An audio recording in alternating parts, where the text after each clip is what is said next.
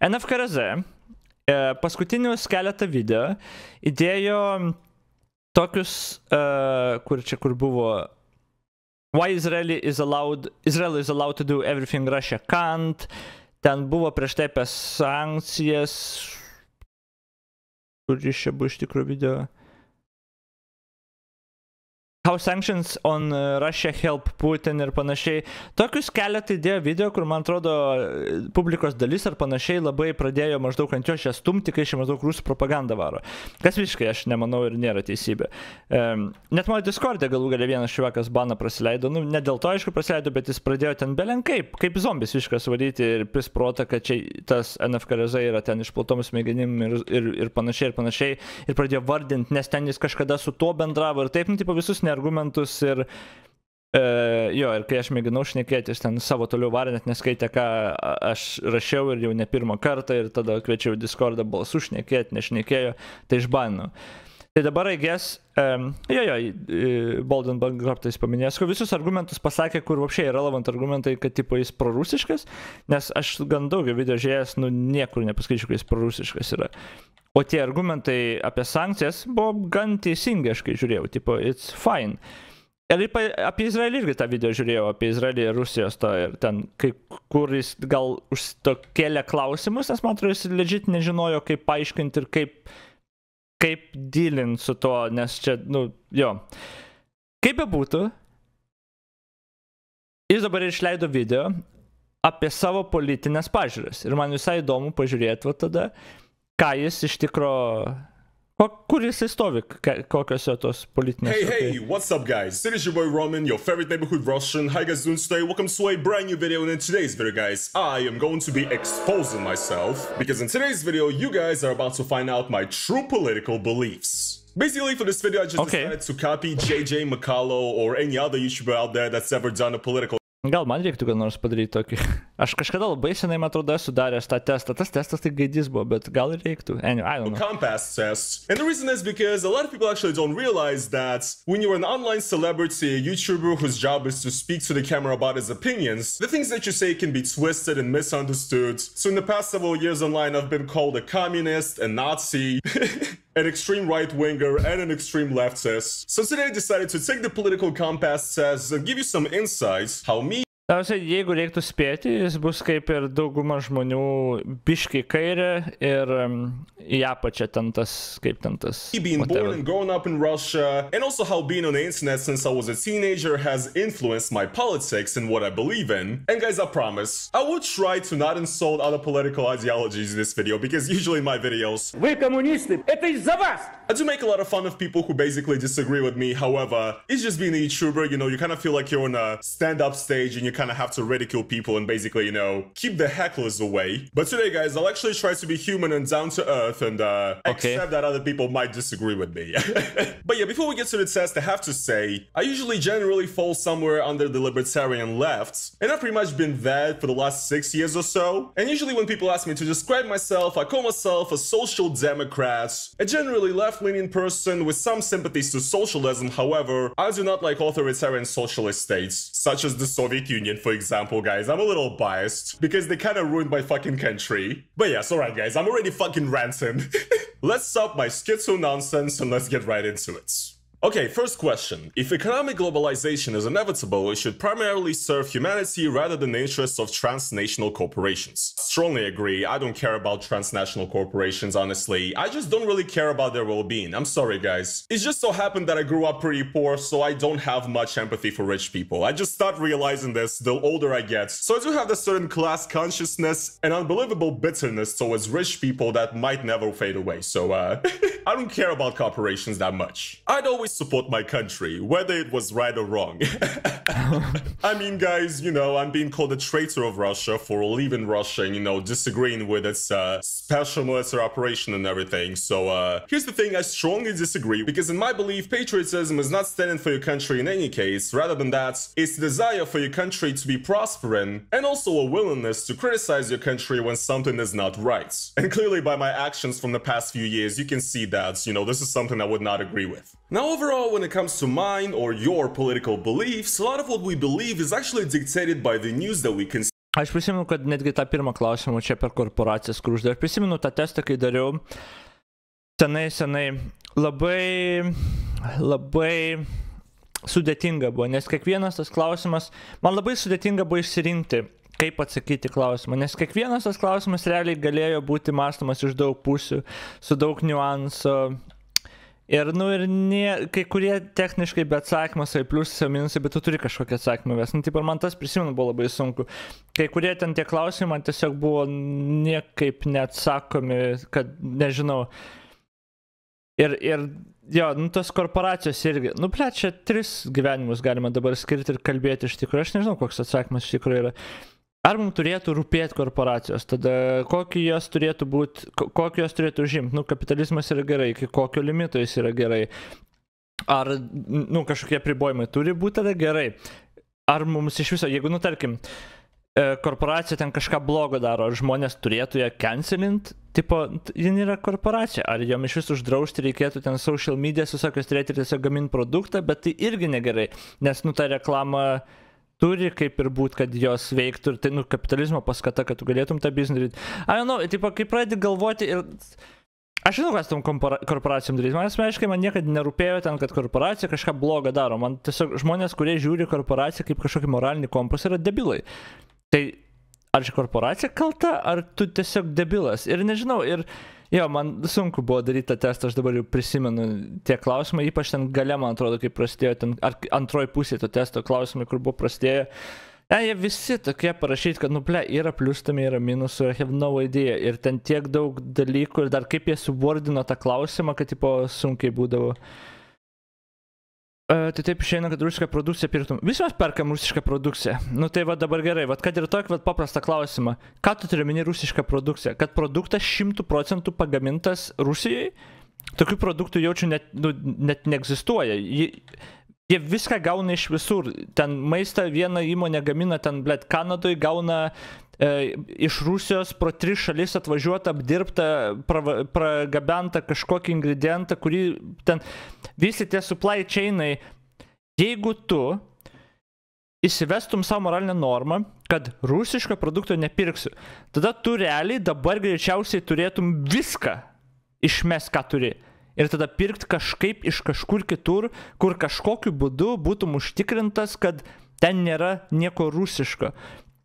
Tipo, ar kažkokios plasmasės ar chemikalų, nes jie gamyklai, e, kur gamina tam tikrą plasmasę, naudojo tais metais iš Rusijos importuotą kažką, dujas, energiją, ten trašą kokį. Nu, tipo, su tais baikotavimais įmonių, va tokie šūdai prasideda kiekvieną kartą. Todėl aš niekada nebaikotavau ten kažkokios įmonės, kai ten, nežinau, nepirkit ten to, nepirkit ten to. Tai yra, tai neįmanoma turėti pastovę poziciją to klausimu, tipo.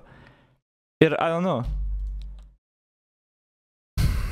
Jo, ir aš sakau, labai lengva, tipo, žmonės mėgsta ir nori pasirodyti, kokie teisingi ir kartais emocija pasiduoda neapgalvoja, neskiria ne penkių akimirkų apgalvota. Ir tada Facebook'e parašo, o čia jo, pamačiau ten, kažkas parašė, kad tas ir tas yra blogas, ta, ta ir ta korporacija bloga.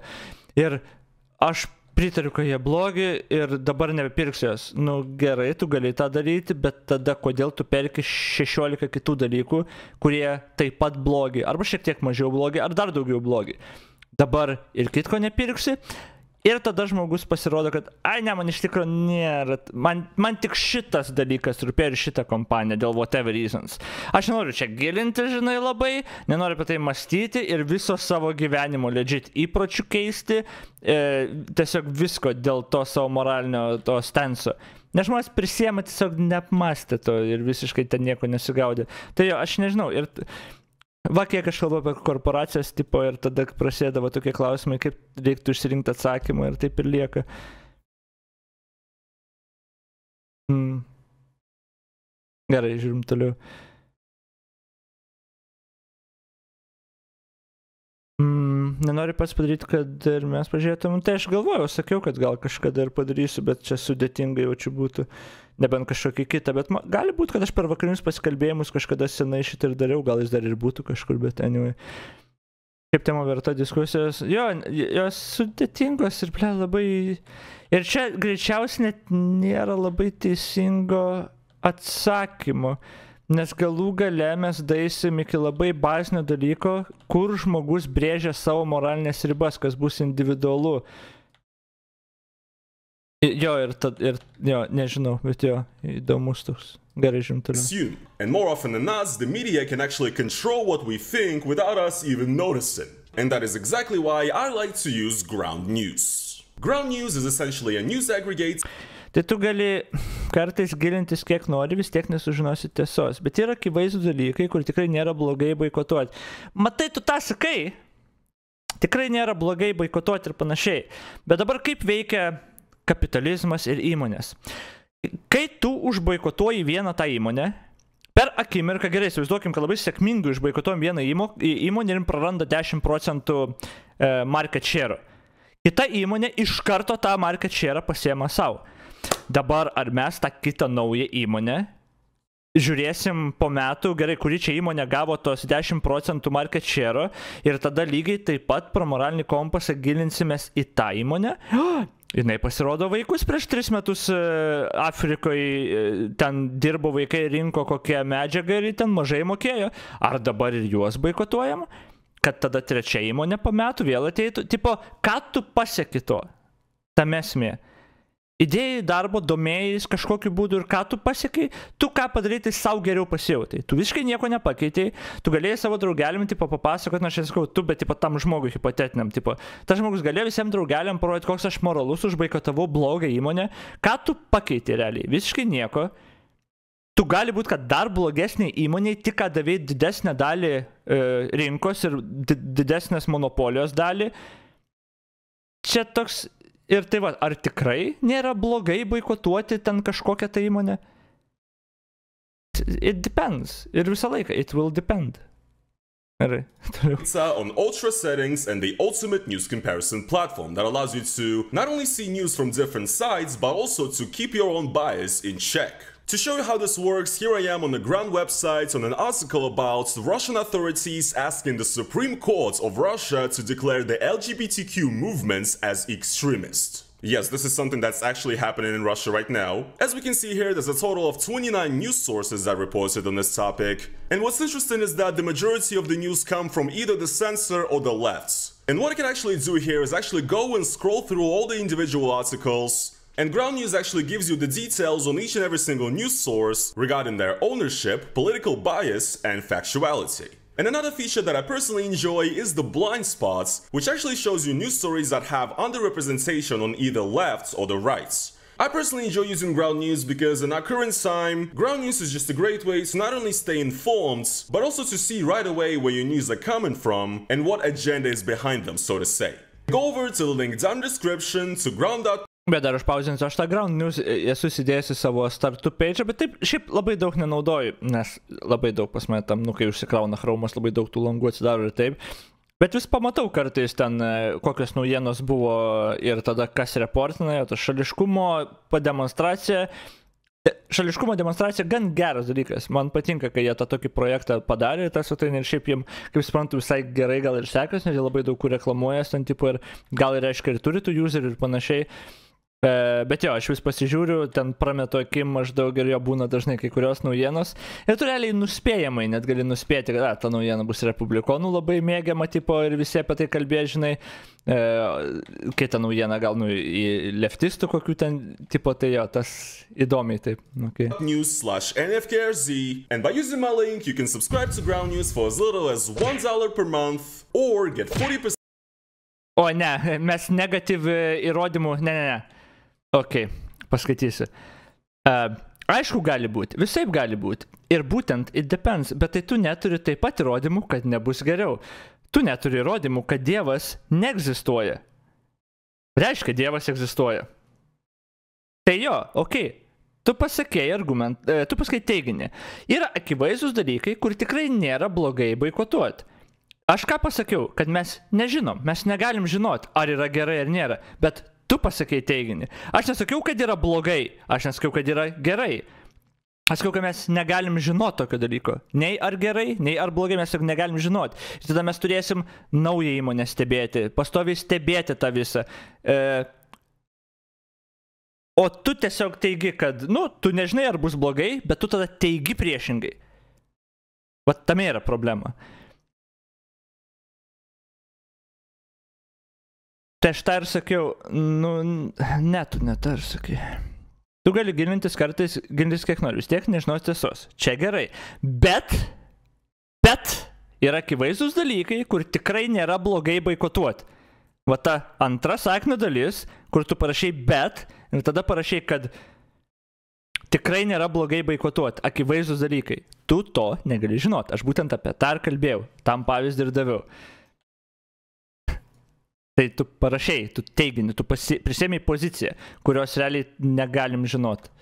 percent off of the unlimited access to the Vanish subscription. So once again, that is ground.news slash NFKRZ. Check out Ground News and by doing this, you will not only be supporting me as a creator, but you'll also support an independent platform trying to make the news more transparent. Huge Jo, gali dėl savo moralės ir principų blokuoti. Ir tada aš klausiu, ar, ką ir sakiau to pavyzdžiui, ar tu esi e, nehipokritas, ar tu visus taip pat vertini, nes 99 procentai žmonių, ką aš ir daviau pavyzdį, jie pasakys, jo, aš turiu tą moralą ir užblokavau. Dabar kodėl tu tą užblokavai, vat, būtent tą vieną kompaniją? Nes apie ją parašė Twitter'į kažkas, ar Facebook'e, ar pamačiau video YouTube'ai ir jinai akivaizdžiai blogai ir užblokavau. Bet ar tu pamastei kažką, Tipo, ne, dažniausiai nebus taip.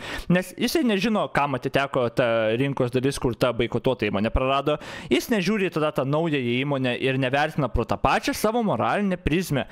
Ar e, ta nauja įmonė nėra blogesnė, jis net nesusimastė, ar nauja įmonė blogesnė. Viskas, ką norėjote žmonės, dažniausiai tai vad grinai. Kad parodyti, kad jie yra labai moralūs savo draugams ir susirinkti tuos pliusus. Ir viskas.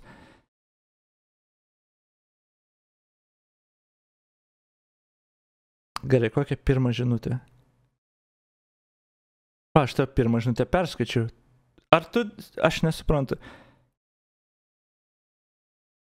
O kas tau neaišku, tu vėl liepi pirmą žinutę skaityti, aš jau tris kartus ją perskaičiau tau ir pasakiau, kur yra problema su tavo teiginiu. Tu prisėmė poziciją, kur tada pats sakai, kur negalim žinot ir aš neturiu įrodymų. Bet tu prisėmė poziciją be jokių įrodymų. Aš neprisėmiau pozicijos. Kad kai yra aišku, tai tada niekada nėra aišku, nes negali būti aišku. Ir aš būtent tą ir ginčiju, kad tu negali taip sakyti, kad yra aišku. What the fuck? Ir tu toliau įsikabinęs to, man sakai, kad nėra įrodymų, bet aš ir neprisėmiau pozicijos, tu prisėmė poziciją. Okay. thanks to Ground News for sponsoring this video, and let's get back into it. No one chooses their country of birth, so it's foolish to be proud of it. I would say disagree, not strongly disagree. I'm honestly not a huge fan of nationalism, and I believe that, yes, you should be proud and appreciative of the ideals of your country in a sense, of its culture, kind of. However, I don't know, maybe it's a childish belief, but I just think all of these borders and countries, etc., that is just so fucking arbitrary. And honestly, a lot of the extreme patriotism out there and extreme nationalism of being proud of who you are, I don't know, to me it just feels super tribalistic and like prehistoric in a way. I mean, I understand that people are super nationalistic all over the world, however, I don't give a shit. That's not Kas negali būti aišku, kad krabas veikia ir viskas šiandien aišku. Ai, tai tu nesiklausai nieko, ką aš sakiau. Ant tai, okay, tai jeigu nesiklausai, ką aš sakau, tada tai aš dabar turėsiu ketvirtą kartą kartuoti, nu okei, okay, tada galim kalbėti Discord'e, tau da, nėra prasmės tau atsakinėti tada. O mano pavyzdys, jeigu jisai rinką prarastų ir kitas būtų, tada 20 kitų įmonių, kur tu nežinai, kad irgi dirba rusams, tau pohui. Tiesiog tu moralę pritaikai selektyviai kažkokiu atveju ir viskas. Ok, čia nemoralai, tai tiesiog, tiesiog dėmesio ieškojimas ir nemastymas. Nu, ok, čia moralai, tiesiog visiškai absurdiškai nekonsistent, hipokritiškai ir be jokio mąstymo. Ok, cool. And I don't care about borders. Bet I really pradėk klausytis atsakymų, nes aš visus tos pavyzdžius travels ne veltui to ir daviau. country, Because I believe we're all human. And the fact that most people in the world still have this binary thinking of like, my country is good and this other country is bad, and that's why, you know, we have to fight till the death. Jo, tu kartok, tai aš ir sakau, aš tau paskaičiau, ką tu pirmą parašėjai. Dar kartą sakau, penktą kartą. Aš paskaičiau tau pirmą eilutę daug kartų ir paaiškinau daug kartų, kodėl yra problema su tuo, ką pasakėjai. Kad tu prisėmė poziciją tame, ko negali žinoti. Dabar patikai krabą, aš tau literaliai daviau pavyzdžius kodėl tai yra neteisinga logika ir literaliai daviau to pavyzdžių. Apie sėkmingą tą boikotą. Ok, užblokavai krabą, 10 procentų prarado rinkos. Ta visą pavyzdį ir daviau ir tu visiškai nesugebėjai girdėti, surišto ir toliau mali savo tą pačią, nu, tipo, ok, viskas tvarkoja. Nu, nenori klausytis, nesklausyk, kam tada ginčiasi ir rašai, jeigu tau vienodai. What the fuck? Gerai, aš praleidau visiškai čia. Because I believe we're all. I really Uh, atsuksiu pusę the minutės. worlds, however, I don't give a shit. That's not a world that I want to live in, and I don't care about borders. I really don't care what nationalities get to live and travel to my country because I believe we're all human. And the fact that most people in the world still have this binary thinking of like, my country is good and this other country is bad, and that's why, you know, we have to fight till the death. Ai, čia fight to the death, nes vieno country guli kitą bėdą. I don't care. All humans honestly equally garbage to me, so uh Tau, siek, tau sako, kad nėra atvejų, kai viskas aišku. Nu, gal bus atvejų, kurie aiškesni už kitus, bet net tai nebuvo mano techniškai pagrindinis argumentas. Pagrindinis argumentas yra tas, kad eh, kas tas, nu jo, kas tas viskas aišku, kai jisai verslą ten vykdo, okei, okay, o kas pasikeis iš to bloko, ką tu pakeiti, ką tu realiai pasiekiai, nieko.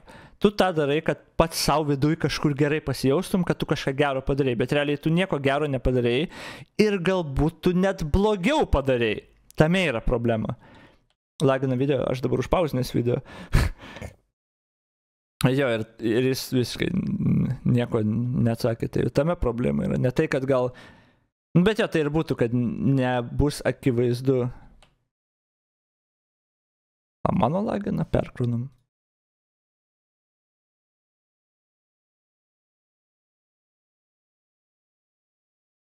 Perkrū, I don't know. Our race has many superior qualities compared with other races. Strongly disagree with that, guys. White people are actually inferior in pretty much everything. Hmm. I'm just kidding. Okay, calm the fuck down. Take a joke. The enemy of my enemy is my friends. Strongly disagree. In my opinion, this type of thinking just basically leads to people being completely inconsistent in their views and what they believe in, and once Yra įmonių, mes šito video nepažiūrėsim, atsakau, yra įmonių, ką tu, Jeva, ką tu pradėjai? yra įmonių, kurie oficialiai teigia, oi, yra įmonių, kurie, kurie oficialiai teigia, kad išėjo iš Rusijos rinkos, bet vis tiek patiliukais veža. Patys LT furistai pasakoja, kad veža LT prekes ir Ruskiną, ir į Ruskiną, ir daug, yra daug iš Kazakstano irgi firmų per offshore, kurie veža verslas ir verslas mani, jis mani. Jo, ir visi tą kaip ir supranta ir tada vat prasideda klausimas, gerai, tai jeigu tu turi moralus, kodėl tu nesigilini tada į kitas įmonės, kur lygiai taip pat akivaizdžiai tavo akim vežtas, kodėl tu tada perki toliau šimtą dalykų, kurie irgi yra ruskinė. Nu, tipo, žodžiu. Bet palatai sankcijos Rusija irgi blogai, o po prie ko sankcijos Rusija blogai. Turbūt dėl to galėtų ginčytis, nu, sankcijos iš esmės yra gan neblogas įrankis. Ir šito konkrečiu atveju Rusijos atveju, nu, jos ir veikia ir skurdina Rusiją, viskas kaip ir tvarkoj. Hmm. Kokį, kokią geriausią gynybą galėtų daryti prieš sankcijas?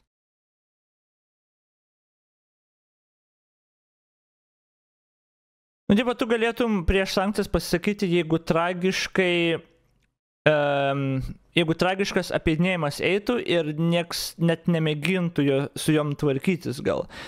Nes, nu, kokią tu sankciją be uždėsi, nu, jas mėgins apeiti. Nu, ir dalykas tas, kad visi tą žino. Ir tiesiog tas apėjimas yra natūralus, bet tada eina antra banga sankcijų, trečia banga sankcijų, kur tu toliau ir toliau vis labiau, labiau apsunkini ir daugiau ir daugiau tų tarpininkų pridedi ir tada tos sankcijos iš tikrųjų pradeda veikti. Sankcijos gal efektas um, ne tas, kad tu uždėjai kažką ir viskas, ir prarado ten ar įmonė, ar šalis ten tipo savo inkomą, o tai, kad dalį inkomų praranda, nes atsiranda tarpininkų ir vis mažiau gauna, nu, tu apsunkini, kaip sakant, tos visus, tą visą dalyką. Tai čia tas toks.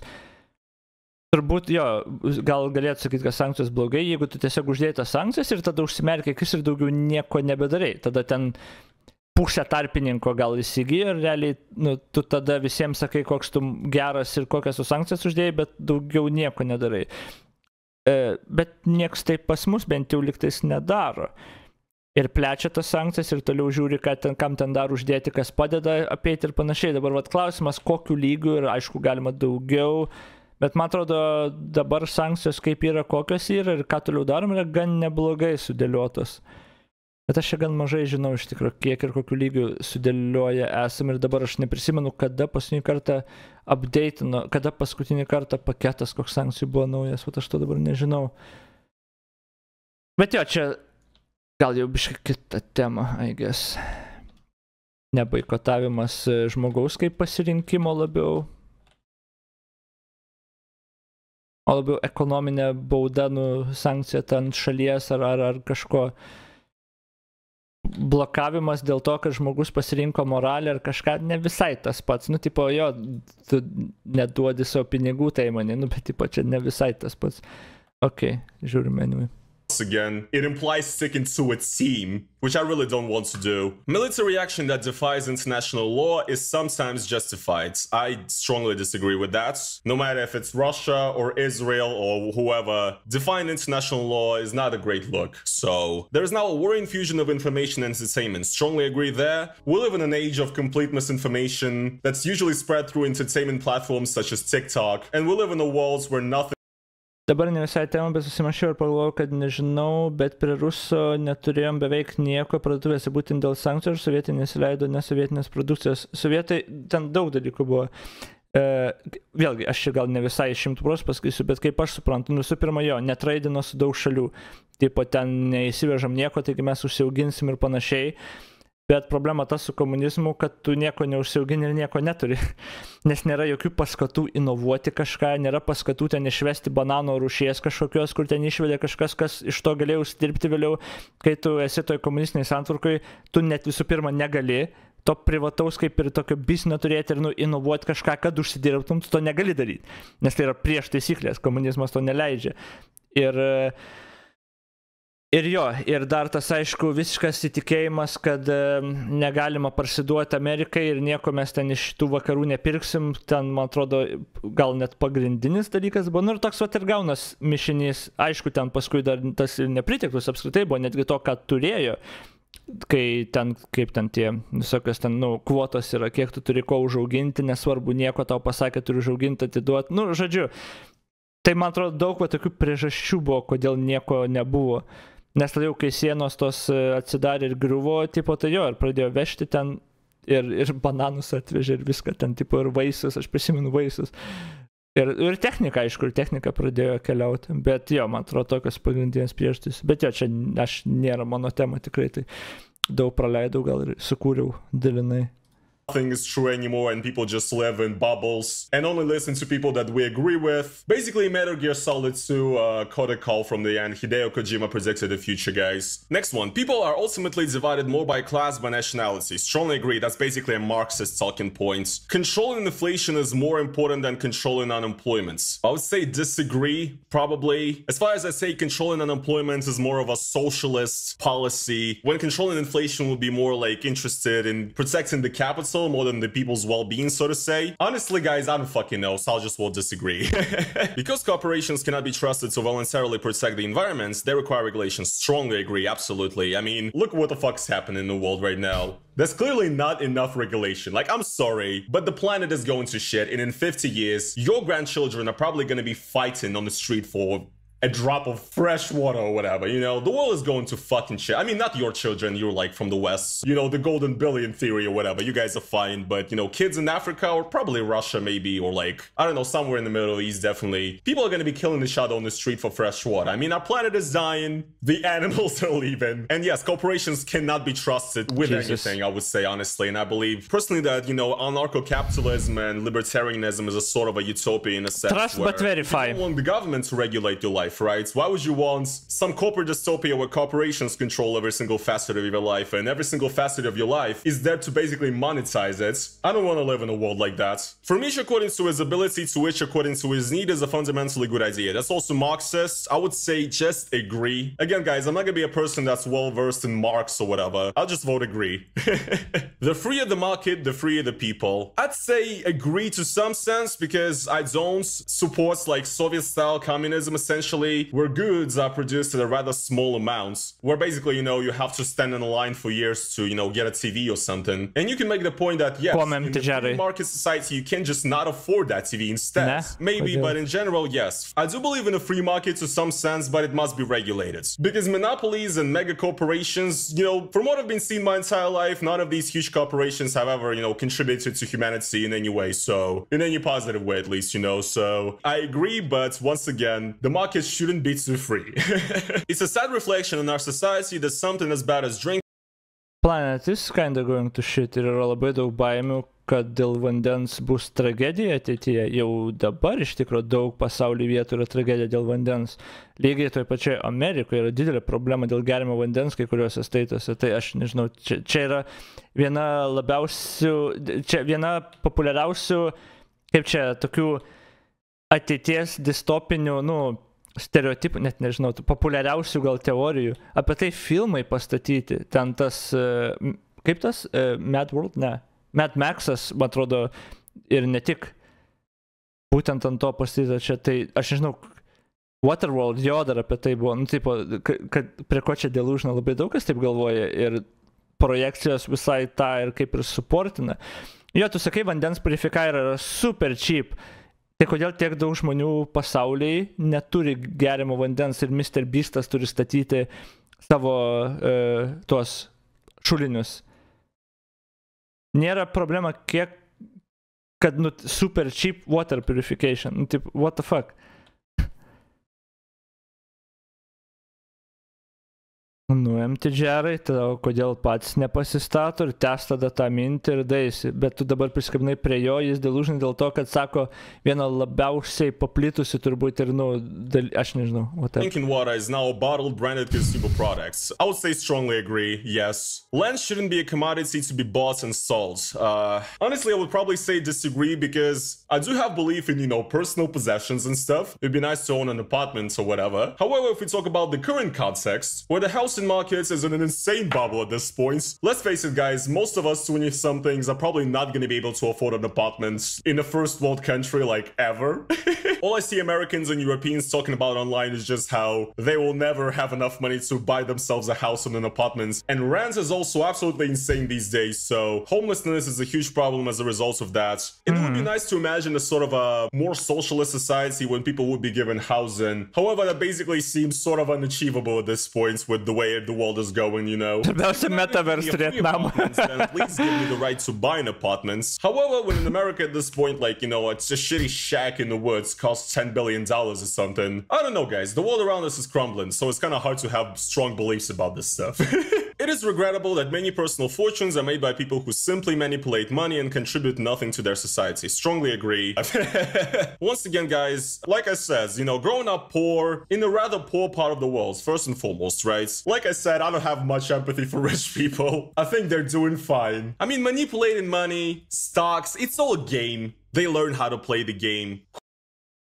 Suprantama jo pozicija tokia, ypač iš kur jin ateina, vat, kai, nu, toks bringapas var dabar daug žmonių galvoja, kad pasaulis eina vilniop ten ir panašiai. Na, aišku, dabar pasaulis techniškai, nu, klesti. Tiesiog mes geriau žinom problemas, kurios egzistuoja pasaulyje, nes internetas yra informacija, žinai.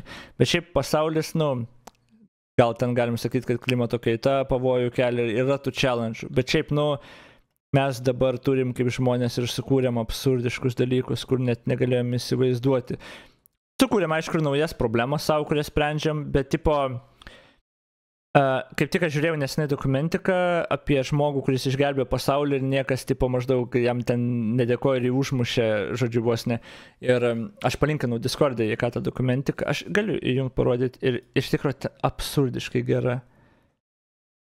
Ar aš rasiu dabar, ble, jūs per daug prirašėt kurį buvo, va, va šitas. Žiauriai gerai. Žiauriai gera. Ir, ta žmog, ir jis papasako čia apie tą žmogų, kuris realiai ir visą, visą istoriją, kaip, kaip medikai ir mokslininkai galų galiai išsiaiškino ir suprato, kad tu gali bakterijas pernešti, kad tau prieš operuojant ten operacijas daryti, reikia rankas, pavyzdžiui, plauti. Ir visą tą procesą, ir kiek tenais va, prieš šimtą, tarkim, metų, net ne prieš šimtą metų, 1952. Ne prieš šimtą metų. Čia yra viena karta realiai. Nu, aštuom metų, tarkim. Daktaras ryte daro 15 au autopsijų tų, e, tada deliverina ten kūdikius ir ten moteris kas ketvirta miršta. Moteris ten gimdydavo vos ne gatviai, kad nereiktų eiti tą ligoninę, kur pagarsėjus, pavyzdžiui, kad ten, nu, ne viena tokia buvo, bet pagarsėjus, kad tiek daug moterų miršta. Ir niekas nežino kodėl. Ir e, kiek daug, ne taip senai, buvo dalykų, kurie buvo fucking tragiški tuo laiku. Visiškai tragiški. Nuo legalių vergovių iki ten nu visiško absurdo. Tai dabar visuomenė, nusakykit, ką norit, mes ir žinom daug daugiau, ir medicina daug toliau pažengus, ir dar aišku, bus toliau pažengus, bet aš tik sakau, kad labai lengva, kai tu girdi tas visas problemas, kur yra pasaulyje, galvoti, kad pasaulis eina Vilniop. Ir tas švakas NFKRZ, realiai, nu, tas sentimentas ir jaučiamas, kad, nu, viskas yra tiesiog pasaulis eina Vilniop. Bet tu realiai girdi tik tas problemas, bet tada pradedi, vad gal pasidomėti, kaip iš tikrųjų buvo ir progresija. Kai tu perspektyvos įgauni, kaip buvo, kaip gerėjo ir maždaug tą timeline pradedi jausti kaip buvo ir kaip gerėjo. Arba kai kurie dalykai buvo išliko tokie patys, kai kurie pablogėjo. Bet daug dalykų tiesiog žiauriai pagerėjo. Nuo technologinių, nuo mūsų medicininių, nuo maisto ir kokybės ir nu, nuo daug dalykų, ten taršos kur ten cigarečių dabar draudžiamos ten praškai visur. Anksčiau tiesiog ateina prie tavęs rūko ir tu net nežinai, kad tave žudo. Tu net nerūkai, bet tu net nežinai, kad tave žudo. Nu, tipo, labai daug dalykų pagerėjo. Bet e, jo, pasaulį, kai, bet apie tą reikia labiau pasidomėti. Tam reikia daugiau savo sąmoningo dėmesio skirti. Nes jeigu tu savo sąmoningo tokio dėmesio neskirsi, tu matysi tik tuos dalykus, kurie labiausiai klikų surenka. O tai bus blogi dalykai, kaip pasaulis visas on fire, žinai, kas yra blogai. Biškai toks jausmelis, kaip prieš pirmą pasaulinį atrodo, kad gyveno geriausia istorija, viskas tik gerin eis. Niekada nesakau, kad tik gerin eis, by the way. Niekad nežinai, kas bus rytoj. Aš sakau tik, kad dabar techniškai, objektyviai žiūrint, pasaulis laikos labai gerai aukščiausiam turbūt taške, kokiam yra buvęs iš daug, daug rodiklių. Nes niekas nesolvino tos problemos anksčiau, 19 metų straipsnis, Columbia Engineering mokslininkai rado būdą labai pigiai purifikuoti vandenį, 22 metų straipsnis tokinis mokslai rado būdą purifikuoti. Kai išlėties problema, tą problemą sugebėsime išspręsti. Uh, kodėl kažkas turėtų tą problemą spręsti ir už kieno pinigus ir kodėl kažkam turėtų rūpėti? Ok, va, labai pigiai purifikuoti vandenį galima. Tai kodėl nepurifikuoja vandens? Ai, pasirodo, kad ne tik užtenka purifikuoti vandenį, arba kas šimtą metrų tu turi statyti purifikavimo stoteles, arba tada purifikuoti vandenį ir jį gabenti ten, kur gal nėra underground vandens, kur tu gali purifikuoti, arba tada reikia tą vandenį, kurį tu purifikuoji gabenti. O, pasirodo, vandenį gabenti yra žiauriai brangu. Hmm, kas už tai sumokės? Blet, kai pasižiūri problemą, ai, purifikuoti taigi lengva. Jo, tikiu, kad lengva, o tai vienintelis dalykas, apie ką galvojam ir kalbam. Neil deGrasse Tysonas lygiai apie tą patį Roganui sakė podkastą. Viskas atsirėmė galų gale į pinigus. Dabar yra smarkiai per brangu. Smarkiai per brangu. Ir jo purifikavimas pats net mažiausia problema, bet tada tu gabenk. Ir, ir pasirodo, niekas nesprendžia tas problemas, nes yra žiauriai per brangu, net su tavo pigiu purifikavimu. Nes dabar yra problema, milijonai žmonių be vandens yra gerimo. Tai kodėl tada nesprendžia tos problemos? Bet jo, tas to, tos pasakymas, kad čiuvakas delusional, kad apie vandenį kal, kalba, kad, nu, dėl vandens ten kovos. Tai ir nėra delusional. Čia yra populiariausias turbūt dalykas, ką galima pasakyti. Bet tu tada gini tą argumentą, kad čia, nu, purifikavimas tik labai pigus. Tai tik viena maža dalelė to viso proceso. Tai net nepaaiškina nieko. E, okay. Jo, nu tu wishful thinking galvo, kad jo viskas taip ir išsispręs, o ateis problema, milijardas afrikiečių norės vandens ir ateis turtingi dėdės ir skaičiu, prašau, mes investuosim ir imkite vandenį. Jo, taip problema ir bus išsisprendus, tikrai taip. Mhm. Nes, jo, Cool for them, I guess, but once again, just in my worldview, I'm not gonna give you more props in life if you've made millions of stocks than if you like a doctor or a teacher that works every day and actually contributes to society. And I know there's gonna be people talking about trickle down economics in the comments of this video saying you don't understand, they actually are contributing to society, they're increasing the amount of money, therefore, more people that are poor are also gonna get that money. That's not how it works. The rich just get richer and the poor just get poorer. This is what's been happening forever now in pretty much every single capitalist country. So, no, guys, still, no matter how much I try to convince myself, I still don't have that much respect or empathy for rich people and, you know, Nepo babies. Protectionism is sometimes necessary in trades. I would say maybe yes. I don't fucking know. The only social responsibility of a company should be to deliver a profit to its shareholders. Well, that's what it is currently. The status quo, I would say, for most companies. So, uh, I'd say disagree. They should be providing. Porter, Just Get Porter irgi nedelusional. Visų pirma, tu nenustatė, kad jis kažkur delusional buvo, tai tu negali sakyti irgi. O dabar, ką tas Porter, Just Get Porter aišku reiškia. Jeigu tu žiūrėsi tai, kad ten ta neturtingiausi žmonės tampa mažiau turtingi, tas Amerikoje bent jau, kuriuos aš žiūrėjau metus, senesnius, ten man atrodo iki 22 buvo. Tai buvo teisybė techniškai, kad turtingiausi, nu bet čia COVID labiau ta pasiekmė buvo, kad turtingiausi tapo turtingesni, pats ta middle class nyksta, tipo pats e, mažiausiai turtingi tapo mažiau turtingi. Tipo gerai, ar čia jis delusional irgi būtų? A, bet tu lygini, kaip bedarbiai gyvena prieš 3 metų ir kaip dabar gyvena.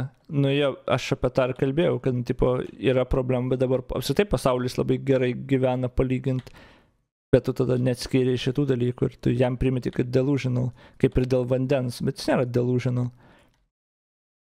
Pažiūrėsi statistiką, nu, okei, okay, techniškai teisybė. Middle class nyksta, tie, kurie nieko apšė neturi, jie realiai žiūrint procentaliai, jie mažiau turi. Žiūrint tada visą planetą, nu eigės jo, jie gyvena ilgiau laisvę expectancy, pažiūrėjau, geresnis, net medicina pagerėjo, ok, iš tos pusės gyvenimas jiems geresnis mažiau turint, gal taip galėtų sakyti, bet jie tada vis tiek mažiau turi, I don't know. A, Jo, nežinau, kodėl tau taip svarbu uždėti etiketę ant žmonių. Čia, kaip žygio žiūrovas, grinai. Žiūrim toliau. in profit, but also like, you know, try to like not keep people in like sweatshops or whatever, you know. If 12 year old Chinese children would not be sitting in factories that have suicide nets around them, that would be cool. But uh the rich are too highly taxed. Strongly disagree. The rich are not taxed even slightly enough. I find this question hard to deal for myself because actually I had a business in Russia when I lived there for my YouTube channel and I paid 6% in tax. Just 6%. flat 6%, rates, okay. plus also donations to like social security and uh, medical insurance or whatever. And here in Georgia right now, where I live, I'm paying literally 1% tax. Because Georgia has 1% tax for small businesses until like a certain limit. Yes, it is really cool to pay 1% tax. However, like I said in previous videos, I'm currently working on a visa to somewhere in Europe. I don't want to spoil it, guys. But essentially, I will have to pay way higher taxes there, probably 20, 30%. And Lietuvą, actually.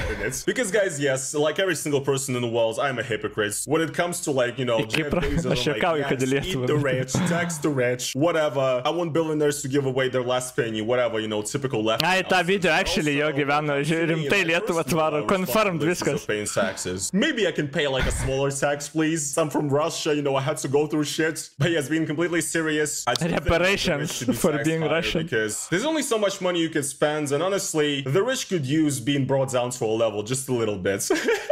But yes, in general, I'm not anti-taxes like a lot of libertarians. I personally think it would be nice if every country was a welfare state to some degree, and taxes are very, very important. And usually it seems like higher taxes just equals to better opportunities for the common folk. So yes, here I definitely am not with the don't tread on me crowds. Although I completely understand your position, guys. I would also Nes tais mokesčiais irgi, aš kaip, aš pritariu, kad labai tie super rich turėtų turėti mokėti daugiau mokesčių.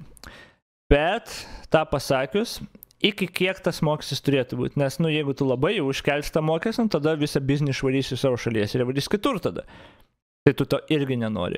Taip pat tai būtų zaibis, jeigu visos šalis, žinai, turtingiam turėtų nu, didelį mokestį. Ir tada tu realiai, n- t- nieks nesikeičia tau, žinai, ar vienoje šalyje, ar kitoje, ir tada tau nėra prasmės palikti. Bet dabar daug biznių, žinai, išvaro į kitą šalį, įsikuria kitoje dėl mokesčių reasons. Bet realiai tu ne, aš nepritariu, kad tu turi tiesiog leisti irgi įmonėm, ar ten net ne įmonėm, arba milijardieriam tiesiog visus biznius daryti ir ten vieną procentą mokesčio mokėti. Man atrodo, tai visiškai nėra niekam sąžininga. Tiesiog, e, kai tu nu, naudojas visos tos šalies ir resursais, ir žmonių labor, ir viskom, kad sukurtum tos visus, jo valio, tikingi. Ir tas kapitalizmas tau turi kaip ir atsidėkoti ir duoti incentyvą tą kurti, nu, nes galų gale žmonėm tai irgi nauda, kai ten per valandą, kaip per dieną gali bet ką tu pristatyti iš kažkur, nu tas veltui neatsiranda. Tai buvo žmogus, kuriam kapitalizmas žadėjo returną. Kad jeigu tu tai gyvendinsi, tu tapsi super rich. Bet tikrai ne, ne tokio lygio, kad tu vapšė mokesčių nemoki. Nu, tipo, o esi milijardierius visiškas. Tuo tarpu, nu, tiesiog akšelį nepasiturinti žmogus, kur ten vos pragyvena daugiau mokesčių procentalių už tai moka. Taip neturi būti, taip niekada neturi būti. Tai jo, aš nežinau, bet kokie skaičiai turi būti ar kažką, I have no idea.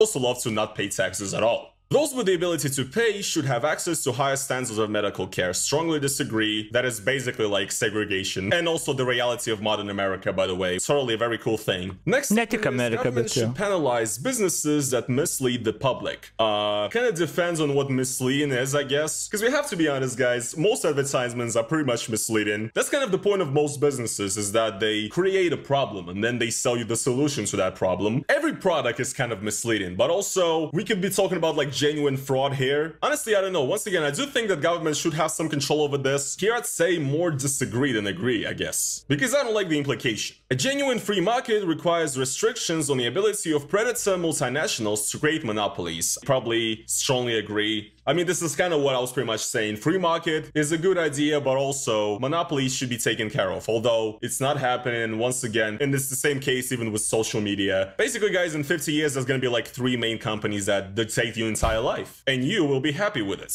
All right, next page. Abortion, Oh, no. when a woman's life is not threatened, should always be illegal. Strongly disagree with this. In my mm-hmm. opinion, a woman should be able to do whatever she wants with her body. I'm gonna say something probably outrageous, but there's a huge debate in pro-life versus pro-choice camp, you know, whether life begins at conception and whatnot, and people who believe that it does say that abortion is murder of baby. I'm just gonna say it. Fuck them kids. Honestly, if a woman does not want to have a kid, if she's not in a position Based. to do it, if she did not want that child, or if just that, you know, the circumstances in her life don't allow her to raise a child, I think a woman should have complete control of what's inside her body. I've always thought that abortion is just like, it makes sense. Not everybody wants to have a kid. Not all pregnancies are wanted pregnancies. So, like, why torture yourself and subject yourself to raising some child that you never wanted? And I've already, by the way, talked about this previously on my channel. Back in the day, around like 2015, 2016, I actually used to be way more right wing in my beliefs. I was sort of going down the alt right pipeline, the MAGA, anti SJW, Ben Shapiro, epically owned student.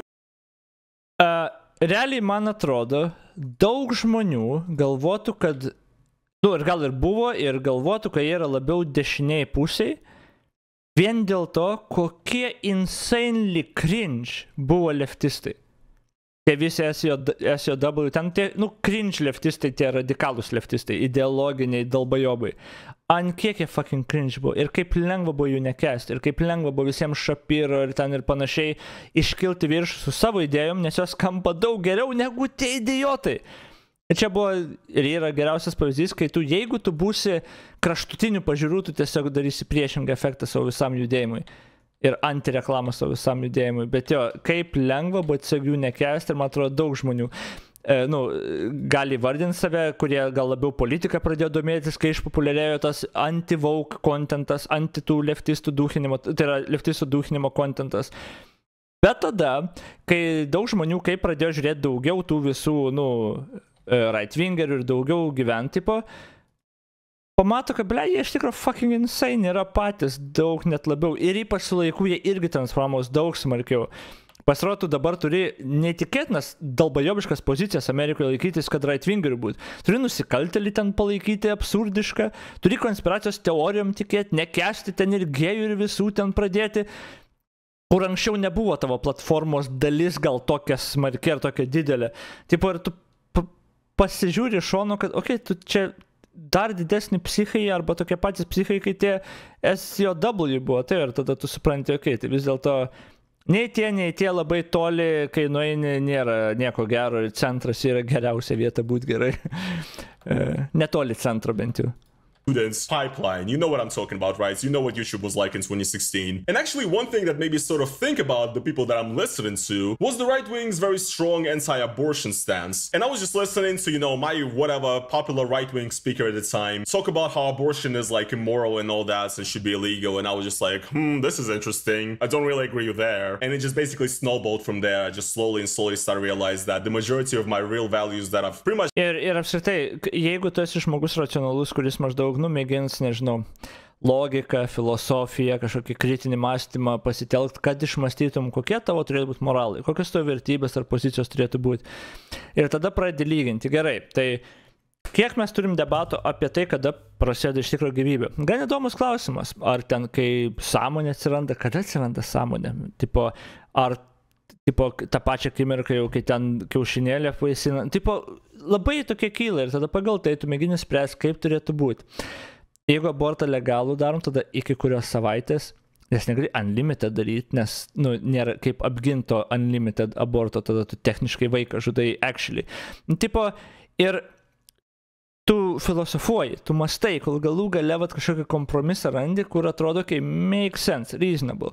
Ir tada priešingai stovykloje klikė gražulis, ar ten kažkas nors kitas. Šventajam rašte parašyta, šventajam rašte parašyta.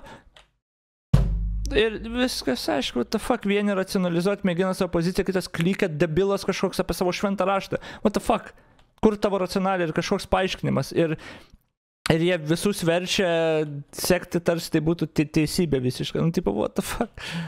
Much held for most of my life don't really coincide with like the Christian right wing in America, where a lot of the speakers that I would listen to came from. So yes, strongly disagree. All authority should be questioned. Strongly agree. I come from a authoritarian country, so I shouldn't, you know, I wouldn't say otherwise. An eye for an eye and a tooth for a tooth. Strongly disagree with that one. Taxpayers should not be expected to prop up any theaters or museums that cannot survive on a commercial basis. I'd say probably disagree because I do believe that it's important to have things that exist not only for the reason that hmm. they're popular, because that way we'll basically reach the TikTokification of the entire fucking world. Because if it's gonna be like an ultimate free market, and you know, nobody's gonna be going to the boring ass history museums or whatever. Everybody's gonna be going to the, you know, Kai Sinat Gyat Skibidi Rizzler Museum. I don't know what the fuck I'm talking about, guys. anyway, everybody's gonna be going to the Skibidi Toilet Museum and, you know, the Smithsonian is gonna have to close because not enough people have visited and are actually interested in like serious things. I don't want that to be a reality, so I do think that the government should finance these things. And yes, funds for this will come out of taxpayer money, and fine. I'm okay with that. Schools should not make classroom attendance compulsory. Honestly, I would say disagree. Like, I mean, just go to fucking school. It's not that hard. I understand that maybe there's some sort of underlying question of education reform in this question or whatever, and how we should change how children approach education and whatnot, but I don't know. I think that's kind of a utopia. Just kids are fucking idiots. They're not going to learn algebra if you're not gonna force them and stick their fucking heads in the book. Because it's not fun. It's not, you know, watching Gyat Rizzler skippity toilet videos. So, uh, if nobody will have to go to school, nobody will. So, like, I strongly disagree there. All people have their rights, but it is better for all of us that different sorts of people should keep to their own kind. Strongly disagree with that one, guys. Not even much to discuss, I think. Again, this is very much, you know, tribalistic, nationalistic. Good parents sometimes have to spank their children. Um. I'll actually say agree. This is just my, you know, Eastern European, you know, mentality or whatever. My parents, they bit the shit out of me here and there, you know, Um, aš šito, aš šičia turbūt, e, aš šitą sakydavau, kad jo,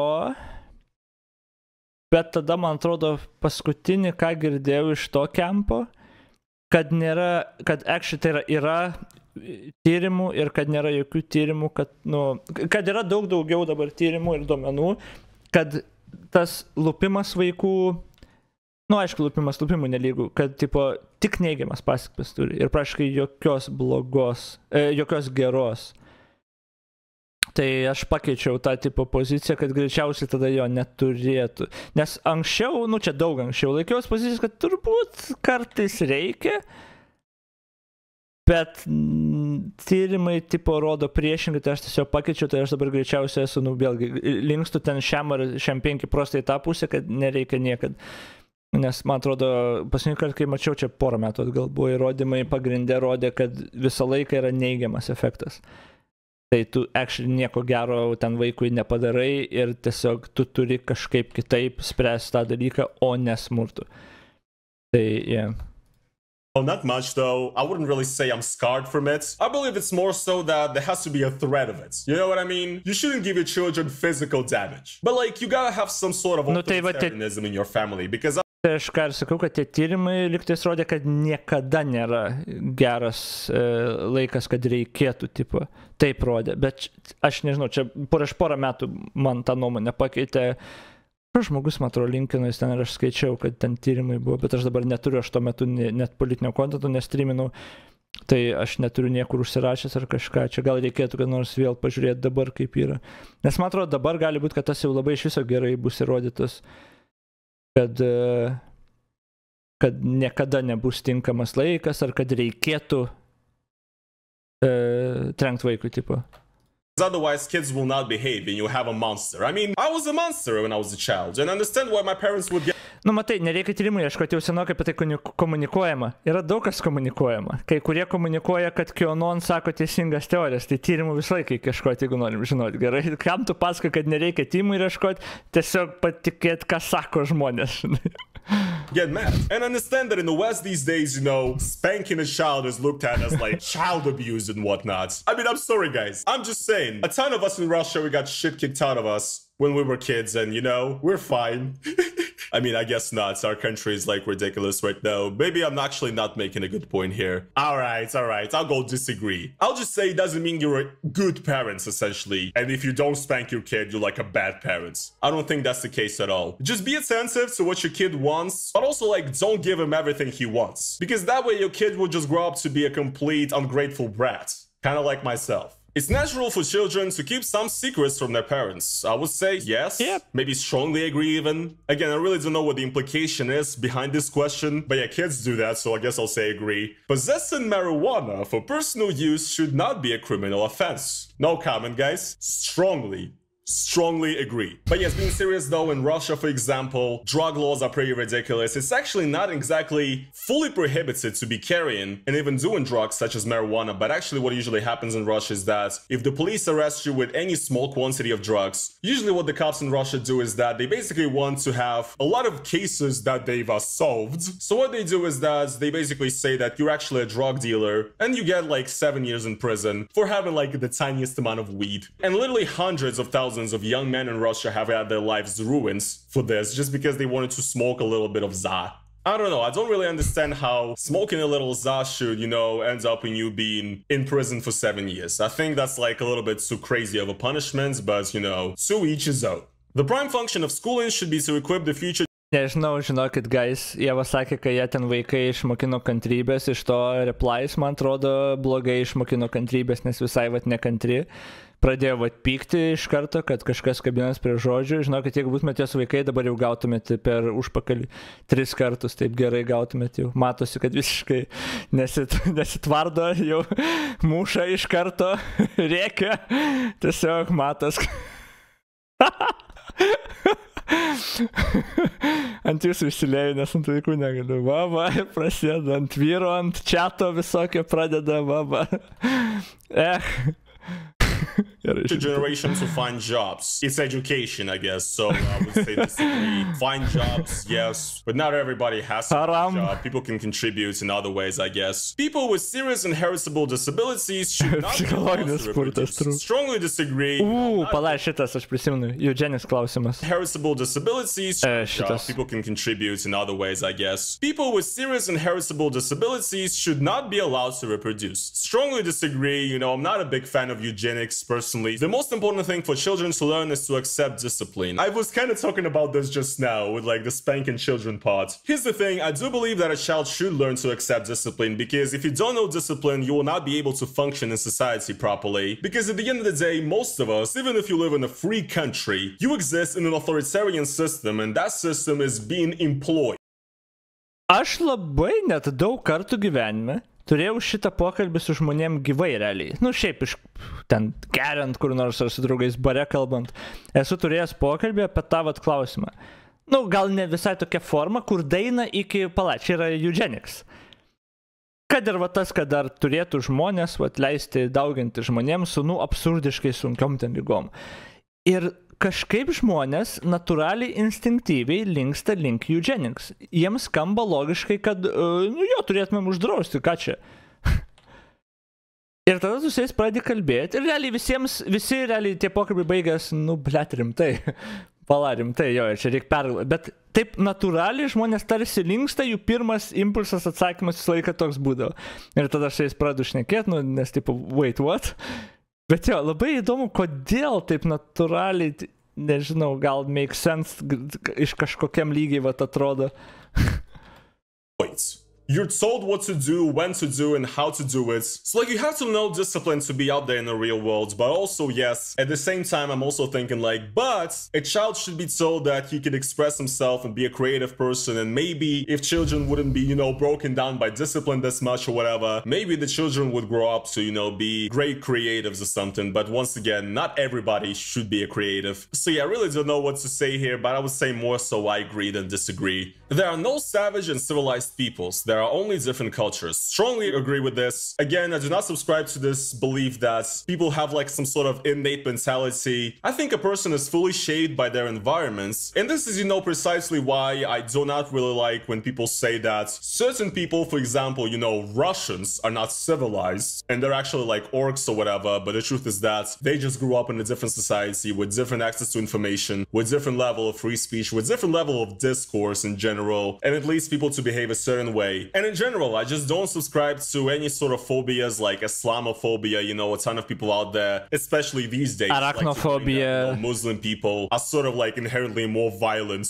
and they actually want to kill everybody who's like not Muslims or whatever, and that you know they're savages and uncivilized or whatever. I mean, racists say this stuff about all sorts of people all the time, and it pisses me off because again, it is not true. We're all the same, and then you know we just get stuff in our brain Gerai, visų pirma, we're not all the same.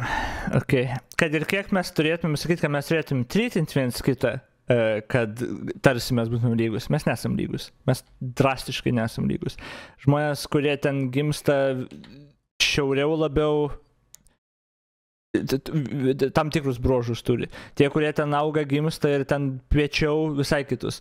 Aukščiau turiu menį, pažiūrėjau, kalnynuose labiau, kur oras ten retesnis, žiūrėk, plaučiai ten didesnį turi, turi ar whatever.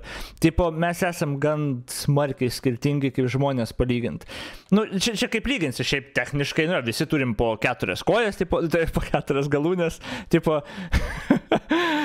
ir Jo, nu, tipo, tokių dalykų, bet techniškai yra labai nedaug skirtumų. Ta laktozės tolerancija. Tai yra tas toks skirtumas, kur pasirodo netoleruoti laktozę yra standartas. Tie, kurie toleruoja laktozę, yra mažuma ir tai tas nukrypimas, tipo, nuo tos normos kabutėse. E, Aš apie tą liktai skaičiau, kad tai buvo kad ten tarp žmonių, kurie augo ten kažkur žemynuose, kur buvo daugiau karvių ir panašiai, ir nu tarsi iš tas genas, nu, atsirado ir evoliucionavo, kad galėtų organizmas toleruoti laktozę, nu, ir kad tai yra kalorijų sorsas. O realiai, kur kitur užaugo, gal kur dieta buvo kitokia ir nereikėjo to, jie ir neturėjo. Dabar, aišku, išsimaišė visur tie žmonės, bet e, išliko ir, ir čia grinai tiesiog va, toks DNR skirtumas ir panašiai. Tipo, tai mes esam labai skirtingi, priklausomai nuo kur gyvenam, kaip gyvenam. Dabar, aišku, kai kurie tos skirtumus sako, kurių tikrai nėra. Kur ten ki- kiti sakys, kad moteris yra tiesiog durnesnės genetiškai arba juodaodžiai durnesni genetiškai už kažką, tam įrodymų apšė nėra. Nu, bet vė- vėlgi, bet tas pasakymas, kad mes visi vienodi, nu, tai nėra teisybė. Tai it's no shot. Okay. that we start believing, and that's how our views are formed. Pala, aš dabar galvoju, ar nebuvo, blėt, kažkoks tyrimas, kur actually parodė, kad kažkokios genties juodaodžiai yra actually mažesnio IQ. Net ne, ne IQ ten buvo, dėl smegenų kažkas blogai buvo. Ble, nu, bet jo, ir ten, nes, ble, tie rasistai viską ištrauks. Kažkoks ten buvo vienas, kur ten jie buvo įsikabinę kažkurio metu, bet paskui debankino ten viską vis tiek. Anyway, gerai, toliau. Don't Gal aš jas sukūriau, gal jie tiesiog patys melavo apie tą, aš net nepamenu dabar čia peoples. In my 10 metų it's atgal gal girdėjau. racist Western view of the world. And this was basically the logic of Western Europeans when they were colonizing and raping Africa and other countries of the world. They thought that they're essentially bringing wisdom and knowledge to people that are beneath them. And they used that ah. viewpoint to basically justify any of the atrocities that they would commit. I'm personally not a great fan of this, so I disagree. Those who are able to work and refuse the opportunity should not expect society's support. I would say more so disagree. In general, this statement does feel like just pull yourself up by the bootstraps or whatever, that kind of nonsense. So I don't like it. When you are troubled, it's better not to think about it, but to keep busy with more cheerful things. I've clearly not taken the political compass test in a while. How the fuck is this related to politics? That's pretty interesting. Honestly, I would rather say strongly disagree because when I'm troubled, I prefer to die inside and think about it and uh, be very, very depressed. Ačiū, tiesiog e, IQ pamatavo, kad IQ gali skirtis jo, bet mes kalbam apie tai, kad ar yra genetinis kažkoks e, faktorius, kad juodaodžiai tipo tu- turėtų žemesnį IQ, o ne socialinės arba edukacija ir panašiai, nes IQ skaičiuojas labai daug. Tai tokių tyrimų, kad neproporcingai bus IQ, tai aišku yra ten ir visų, ten ir tarp moterų ir vyrų, čia, bet mes ne apie tą kalbam, mes kalbam apie ar tipo žmogus kaip biologinė būtybė, ar, va, pavyzdžiui, juodaodis, žinai, yra kažkokį geną turi, kad būtų bukesnis, ne. E, o čia ką tu palinkinai? O čia man atrodo tiesiog tik IQ ir pamatavo. Iš vis yra, kas čia The Guardian straipsnis teisingai.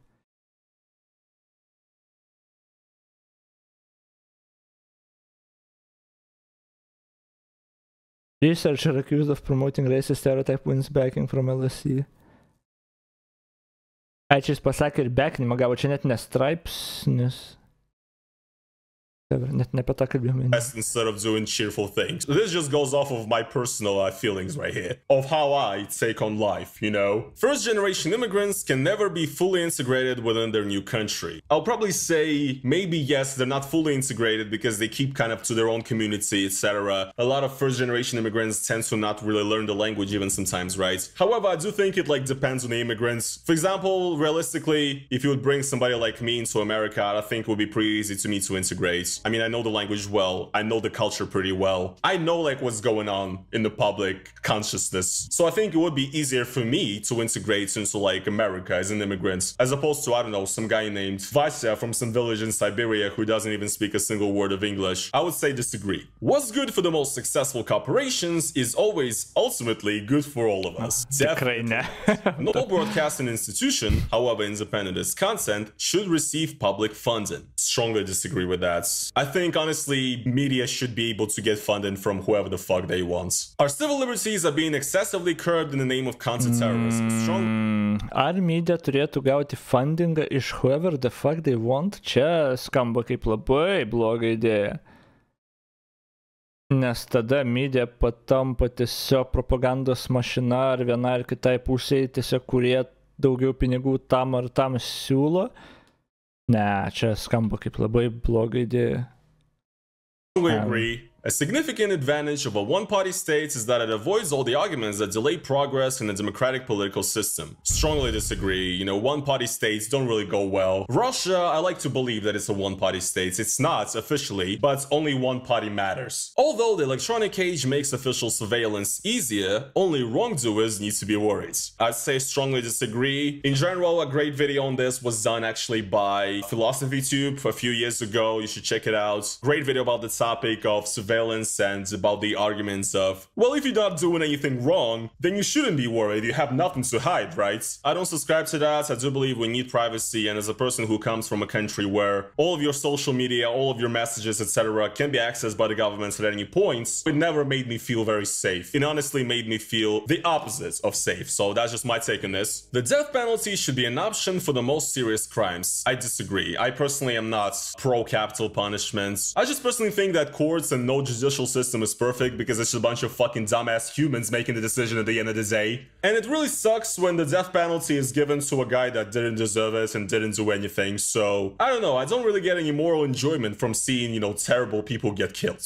In a civilized society, one must always have people above to be obeyed and people below to be commanded. I would hmm. say disagree. Fuck the goal. Jo, aš prisimenu, sakau, man atrodo, per vakarinius pasikalbėjimus labai labai senai kažkada esu daręs tą testą. Nu ir ten realiai ir buvo, man atrodo, 3 valandas ir šnekėjom, nes, nu, 9 procentų tiems visiems klausimams prasideda, nu, belenkiek niuansų ir labai buvo sunku išsirinkti kokį atsakymą būti ir kažkokią konkrečią poziciją prisimti, nes yra labai daug ką mąstyti. Dabar gal tikiu, kad daugiau lengviau būtų gal klausimų atsakyti, galų galę, nu, ten bent jau užsirinkti atsakymą, bet jo, čia Ir mes šiek tiek aš pausinau ir vad iš karčiate prasideda, kiek skirtingai yra. Jo, jo, ta mirties bausmė irgi jo, kiek kalbėta ir ke- koks yra impulsas, vad kur. Kur tas švakas nesenai, kur čia pas mus net Discord'e numetė tą, kur ten rašė, kur per TikToko live ar YouTube'ės live tiesiog savo draugelį užmušė. Tiesiog spardė galvą, spardė rėkiant jo, kol galų galę užmušė. Nes aš parašiau komentarą Discord'e, nu, turim visus šimtą procentų įrodymų šitą čuvaką tiesiog kankinti kol jis numirs pats. Jam nekalėjime 50 metų pūti, o tiesiog kankinti, blėt, kol jisai padvės. Nu, tai yra, bet čia yra emocinis impulsas toks ir tiek. Realiai, kai tu pradedi galvoti, tada, nu, blėt, nu, daug labai dalykų į tą sueina ir galų gale neturėtų būti mirties bausmės. Ir Kas kankins aš? Manau, labai daug žmonių atsiras. Be problemos. Tavo mama jo grinai. Man atrodo, labai daug žmonių atsirastų, kurie tiesiog sutiktų kankinti tą urodą, pamatę tą video. Bet, tipo, tai greit atsibostų, jisai greit ir numirtų, nu, tipo. Bet, anyway, nu, bet jo, nekeičiam temos dabar, tipo tas, bet sentimentas, tak, žinai, bet tada pradėjo apie mirties bausmę apskritai mąstyti iš, iš įvairių pusių ir techniškai neturėtų egzistuoti jokioj visuomeniai. Ir kalėjimai yra neveltui, ir, bet bausmės gal turėtų būti tada griežtesnės ir panašiai, nu, tada prasideda kaip labiau nubausti tokius žmogus ar panašiai ten, ar, ar bet, em, ne, mirties bausmėjo. Jo, vienas pagrindinių argumentų dėl to, kur neteisingai apkaltino, todėl va tokiuose epizoduose, kur jis pats įrašo savo live ir tu, nu, matai vaizdą, kur niekaip, nu, jau ne kažkas kitas kaltas, tas kaltas, tada ir va būna tas sentimentas, okei, okay, šitą kankinam, žinai. E, yeah, bet čia tas pagrindinis argumentas. Fizinės bausmės už ar prieš, blėt, nežinau. Prieš kankinimą turbūt, nes jau kankinimas skaitytus, čia vėlgi aš tai nėra mano pozicija, tas, kad tą čiuvaką kankinti, aš tą paminėjau, jeigu ką. Bet tie kankinimai, priverstinis darbas greičiausiai negali būti irgi ir kor, inko, inkorporuota į jokią tą bausmę, kaip ir ne, ne veltui atsikratę tų dalykų. Bet jo, sudėtinga, čia irgi sudėtinga. Hmm.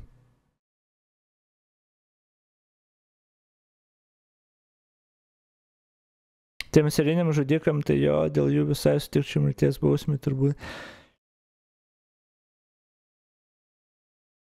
Nu, ble, bet matai. Mes jį turim išimti iš visuomenės, kai jis toliau to nedarytų, bet man atrodo, ten irgi daug dalykų bus. Pavyzdžiui, kur, nu, tiesiog buvo smegen, smegenų, vis, nu, baziniai kažkur smegenyse sutrikusi veikla buvo ir jie taip darė. Tai ar mes tikrai už tą turėtumėm užmuš žmogų kaip valstybė tada? Nes techniškai mes jau jį panaikinam iš visuomenės, jis toliau žalos nebedaro, tai techniškai tas pats kas miręs, bet tu nebaudi tada žmogaus m- myriop už tai, kad jos smegenyse buvo defektas. Nu, tipo, I don't know. Galima izoliuoti kalėjimą ir panašiai. Tu ir tą skaitai, ką skaitai? Aš nieko apie tai skaitęs turbūt nesu.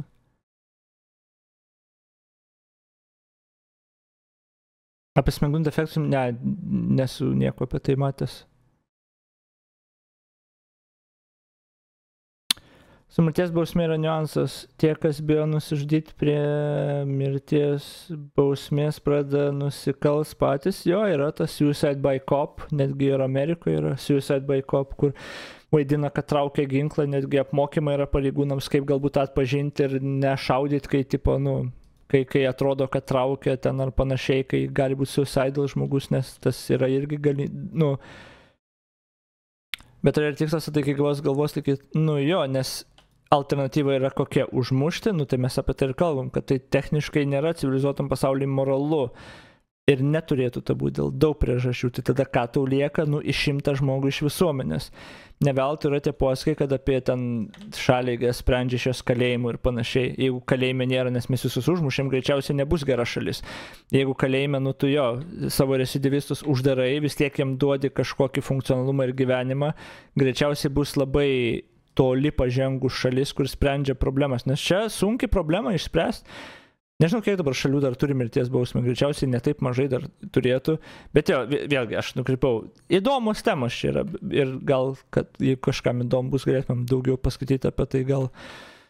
Okay. Global order, you know, anarchy. Again, this is just... Ir, ir, ir jo, problema yra ta, kad tom temom dažniausiai 9 procentų, sakyčiau, žmonių nuomonė turi tik iš emocinės pusės. Ir yra, kai tu jom mėgini diskutuoti ar kažką, kaip ir kokią pedofilijos temą, tu beveik su niekuo iš tikrųjų racionaliai nepakalbės tom temom, nes nepraeisi emocinio barjero žmonėm.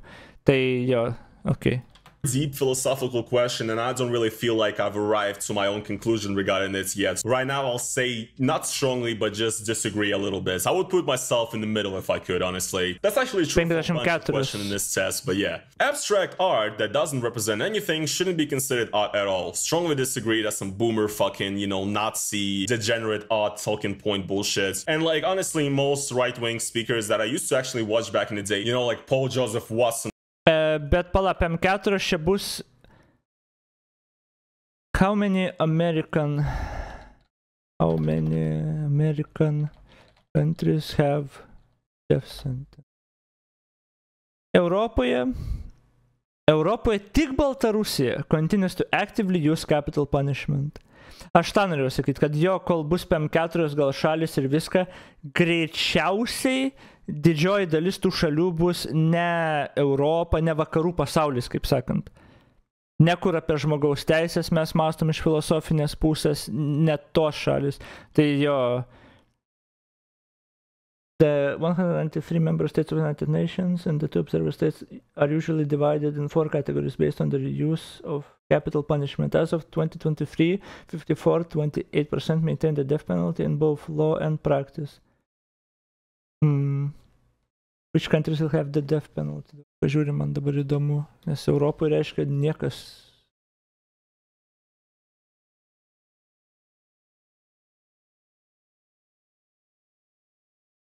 Uh, where did most executions take place? China, Iraq, Saudi Arabia, Egypt. Arabija. O pala, kur čia? Which can still have the death penalty? Tai Tai jo, Europa nėra niekur tiesiog. Visiškai nėra niekur, tik Baltarusija, tada Rusija ir tada jo visas tas vat, žemynas realiai. Afrikoje labai daug kur nėra iš tikrųjų. Holy crap.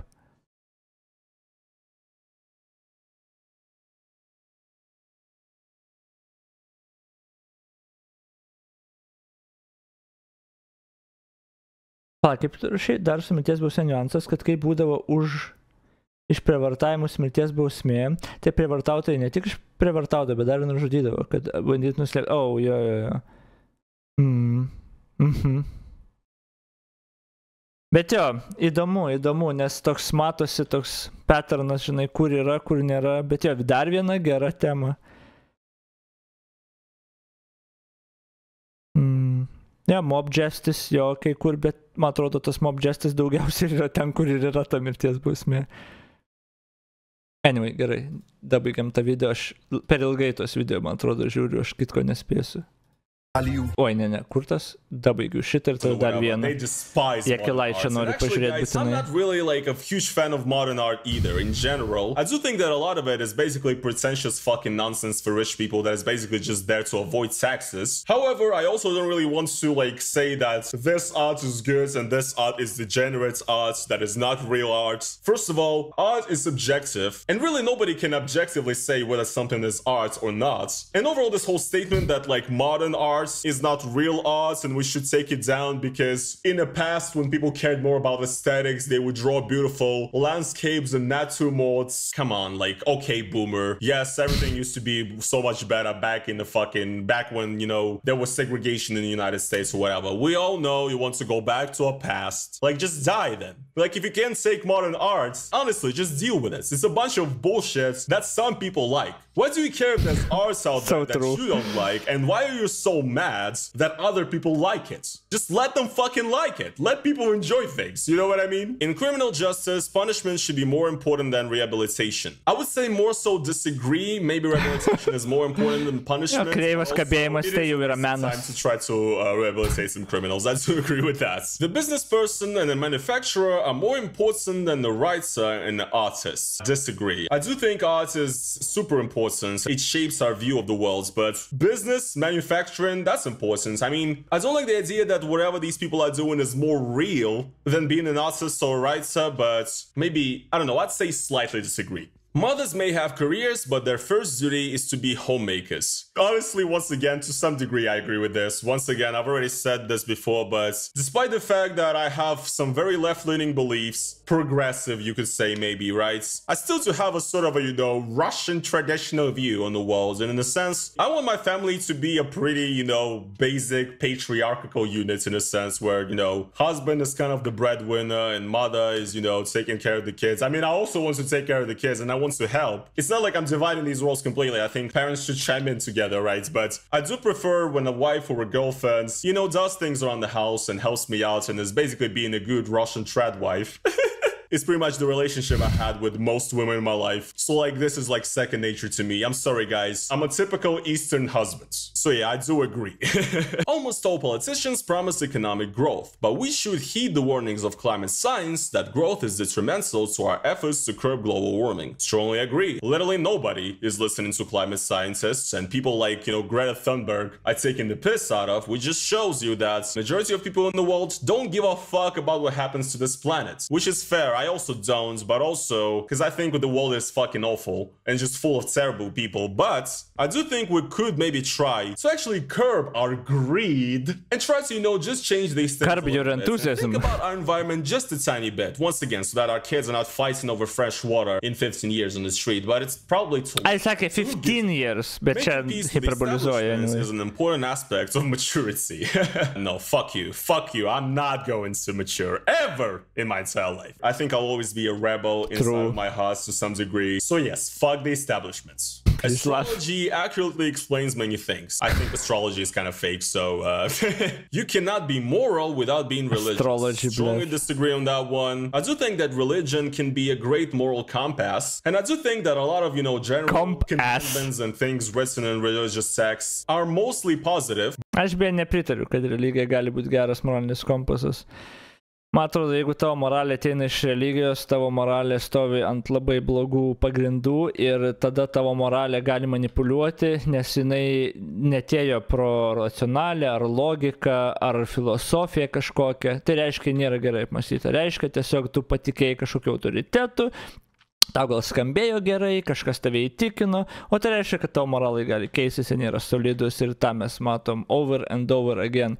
Plus religija yra apskritai nuodas, tikėjimas yra nuodas smegenų ir aš nežinau, nieks greičiausiai nesugebėtų jokių argumentų normalių duoti. Vienintelis dalykas, kur religija ir tie visi turi dar pliusą, tai yra tiesiog kaip coping mechanizmas, kai žmogui yra absurdiškai sunku dėl kažko tvarkytis. Bet aš manau, kad mes turim kaip visuomenė padaryti taip, kad nereikėtų religijos žmonėm, kuriem yra blogai, kad jie galėtų tvarkyti su savo iššūs. Psichologai, visas support system turėtų būti vietoj, kad nesikreiptų žmonės į sektas ir religijos, kai jiem yra sunku. Nes e, jo tu gauni tą coping mechanizmą galbūt, bet tu prarandi labai didelę dalį savo savęs, I guess. Ir jo, tau labai, tai yra užnuodė tavo smegenis tas tikėjimas religija ir jo neturėtų to būti, nes... Ne, yeah, jo, taip gal. But no, you can absolutely be moral without being religious. It's not even worth discussing, really. Charity is better. Tipo, aš nesu tas žmogus, kur, o, išvada yra viskas. Man svarbiau visą laiką buvo, kaip tu tą nuomonę ar išvadą susidarai. Nu ir man atrodo, tai daug racionaliau yra.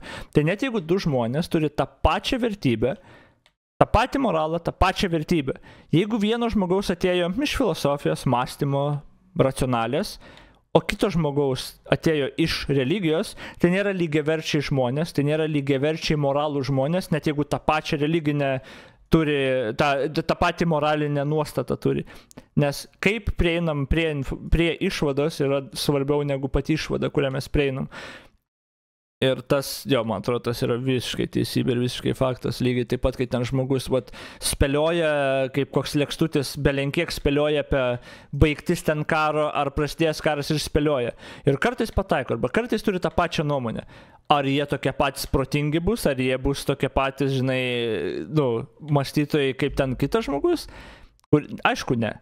Tiesiog jie kartais atspėja, tai kaip tu prieini išvadų yra tikrai daug svarbiau, koks tavo procesas, koks tavo kritinis mąstymas yra daug svarbiau. Tai su tais moralais lygiai taip pat, jeigu tu prieėjai prie moralų iš Biblijos, jie bus e, ne tas pats, jeigu prie daug vertybių tu prieisi ne iš Biblijos, o iš kitur, tipo, nu jo. and social security as a means of helping the genuinely disadvantaged. Strongly disagree with that. We need social security because we need constant, reliable help for the disenfranchised, not just when some rich fucker donates on a whim to make himself look good, you know? And you know, whatever's happening in the world right now just tends to show us that rich people are not exactly very smart usually. So honestly, I do not want to rely on rich people to help out the people that are genuinely disadvantaged. We have the government and taxes for a reason. Some people are naturally unlucky. Uh, I guess I agree. I don't know. And the last question it is important that my child's school instills religious values. Strongly disagree. I would like my child's school to teach him about different religions, but not to instill any values within my child. And neither will I, by the way, because I don't have any religious values, really.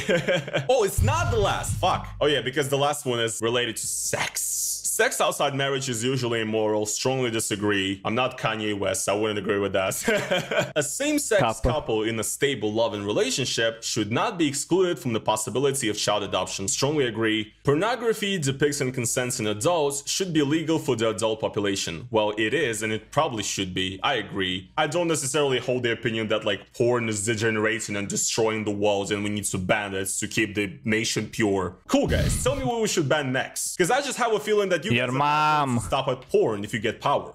You're gonna ban some of those degenerate books and degenerate. Nu jo, kai that kur nelegalu, aišku. what goes on in a private bedroom between consenting adults is no business of the state. Strongly agree with that one. No one can feel naturally homosexual. Strongly Porno tikrai nėra gerai. Depends.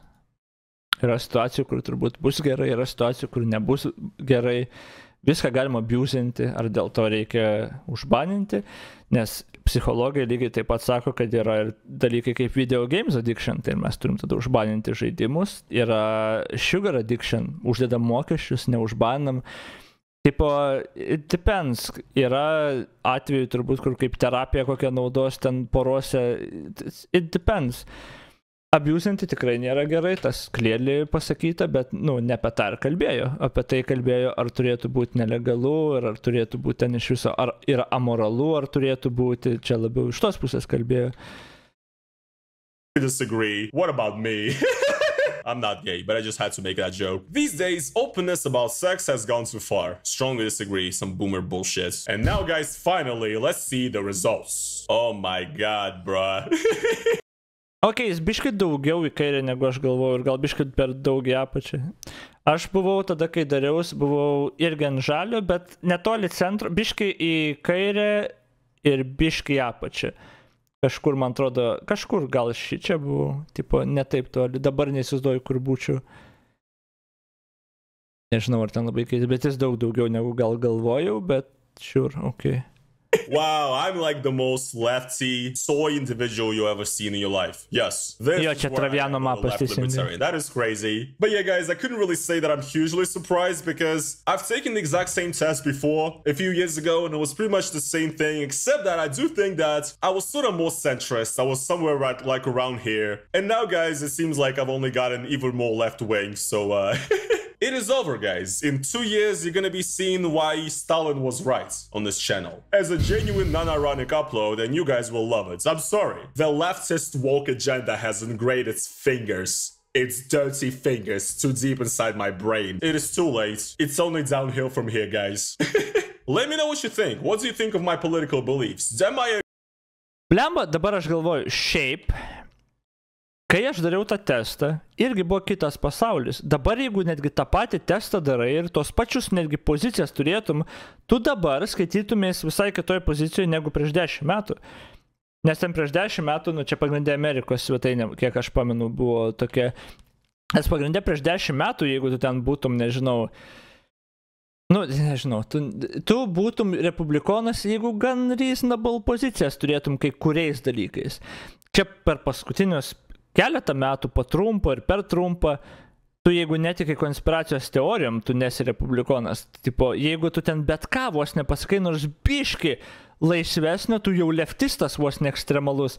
Tai tipo, aš nežinau, čia dabar tas, nu, kur, kuri pusė save, kurioje riboje identifikuoja, šiftino irgi, tas Overtono langas stumės irgi neblogai.